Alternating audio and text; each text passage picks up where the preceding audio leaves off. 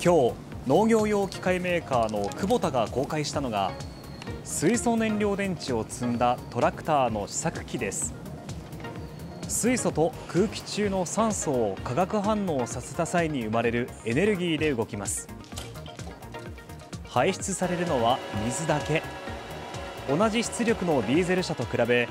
年間11.3トンの CO2 削減効果があります。さらに電池自体が発電するため大きな蓄電池が不要な上